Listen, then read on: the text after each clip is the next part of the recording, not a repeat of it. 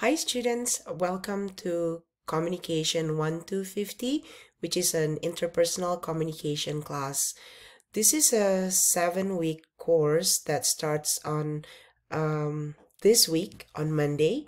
And I would like to introduce myself. My name is Dr. Uli Putri, and I will be your instructor for this seven week course.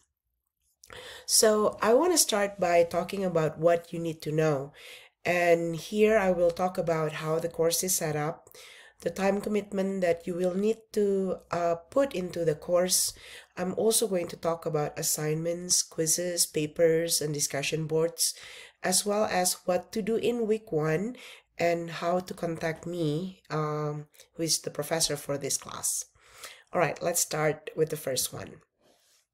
Now, uh, when we talk about how the course is set up, this is a seven week course and it is a condensed version of the 15 week course covering the same materials in half the time. So students are expected to do the same amount of workload that you're putting it into 15, 15 weeks, but this time it gets condensed to seven week. So what happened is that each week students are expected to read the assigned two chapters from the textbook. You're also going to be completing the learning curve assigned to those chapters, and I'm going to explain more on this. Um, you're also going to be listening to or watch the recorded lectures and additional materials such as uh, TED Talk or podcast or reading a short articles and participate in the discussion boards. In addition to this weekly assignment and discussion boards, students will also need to submit papers, take quizzes, and exams. So you will understand what I meant when I say commitment is key. Um, and so is enthusiasm and curiosity in approaching topics that we will cover in the next seven weeks. And in this course, uh, what is interpersonal communication? It is basically a course that will help you understand yourself better, understand uh, the people around you better, and also um, introducing you to tools that will help you become a better communication sorry a better communicator.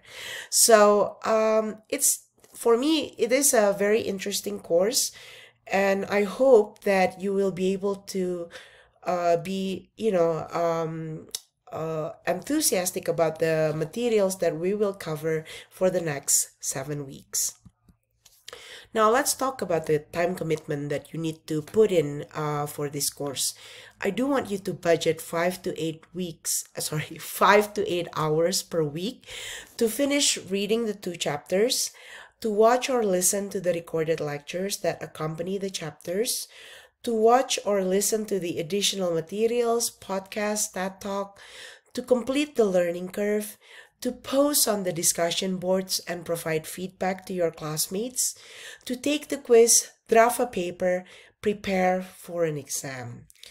Um, I'm going to talk more about this when I'm talking about assignments.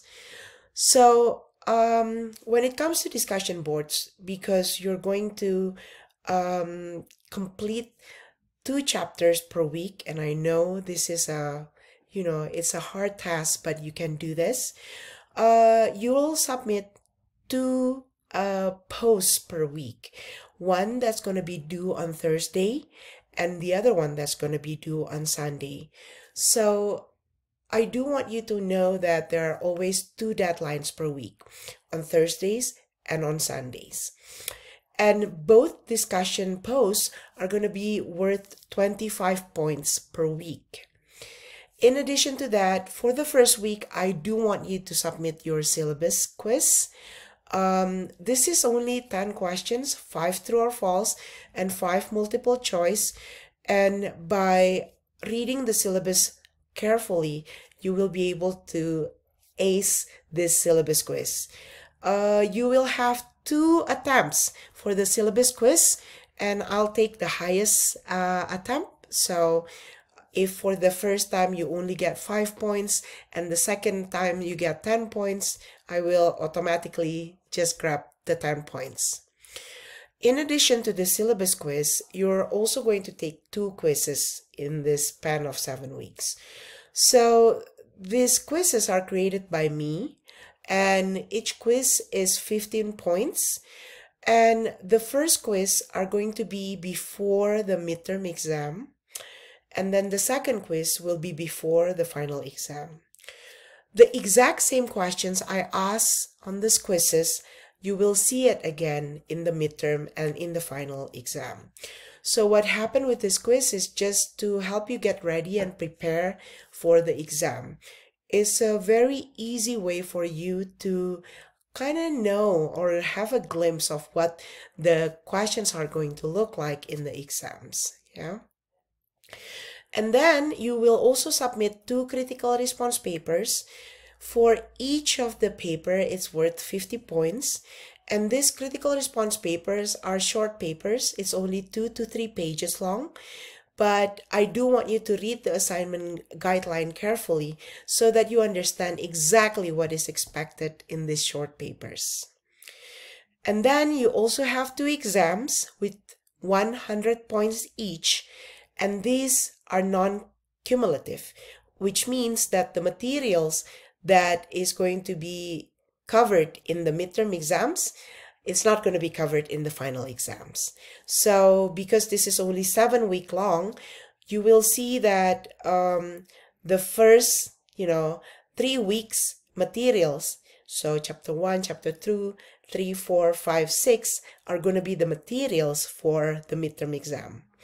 And then chapter 7, 8, 9, 10, and 12 will be the materials for the final exam.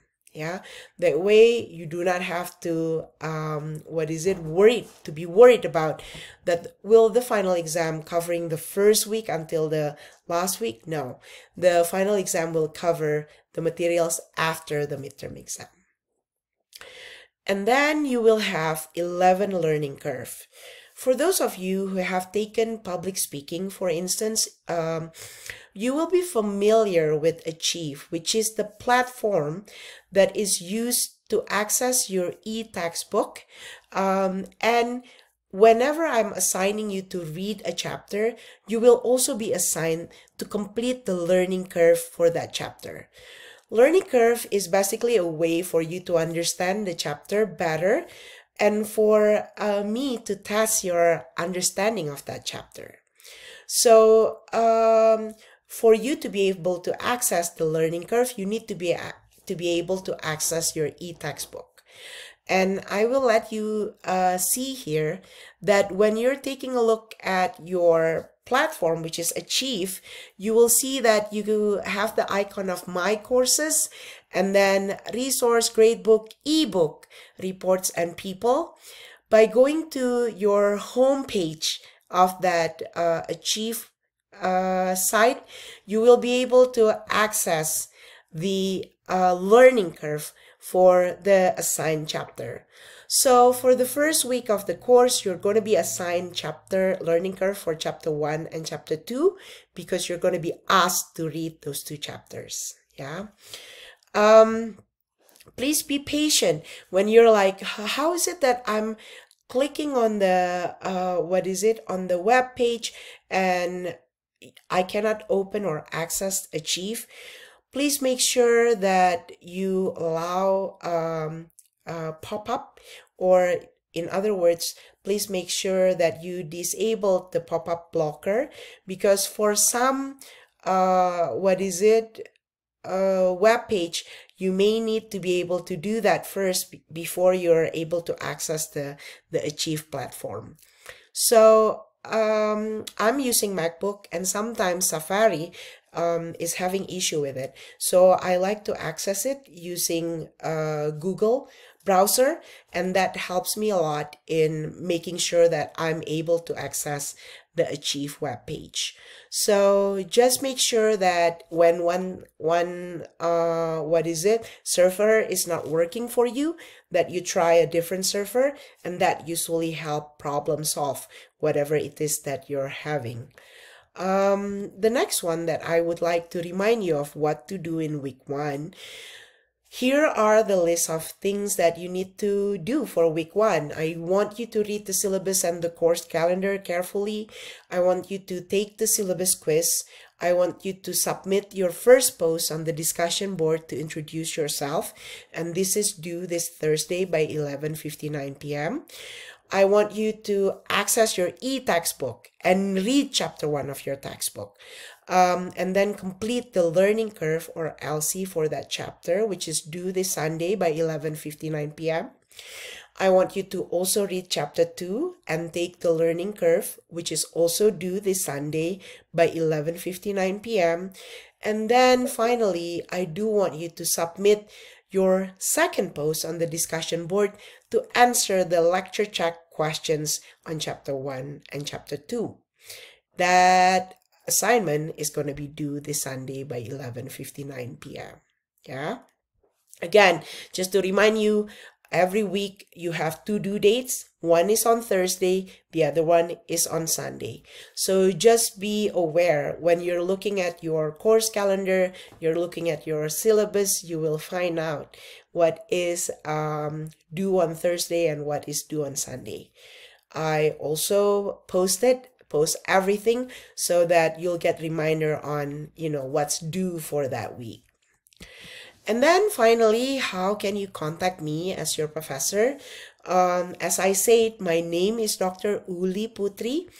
You can address me or call me as Dr. Putri or Professor Putri. I'm here to help you succeed in this course. Um, I will provide all the tools for you to be successful. But because you sign up for this seven week course, I do want you to know that you do need to bring your A game. It does require focus, lots of hard work and commitment on your part to complete everything in seven weeks. Yeah. Again, um, just because this is seven week doesn't mean that you have less readings or less tasks. It's actually the exact same amount of work that you need to put in into your 15 work course only in such a short condensed weeks. Now, my email address is uli.putri at frontrange.edu. It's written there, but it's a lot quicker to send me a message um, via your course wait, uh, web page or D2L. Please give me 24 to 36 hours to respond to your message. And it's always helpful when you're being polite and being clear in what it is that you're asking me to do or what it is that you're asking for help. Do you need to see me in you know via zoom i'm available mostly on fridays between 12:30 p.m. to 1:30 p.m. i do want you to reach out to me um, so that we can arrange this kind of zoom session where i can actually talk to you in in um, i want to say in person but it's not in real time um, via zoom and help address any questions that you have um, basically that's it. If you have any questions any concern don't hesitate to send me a message.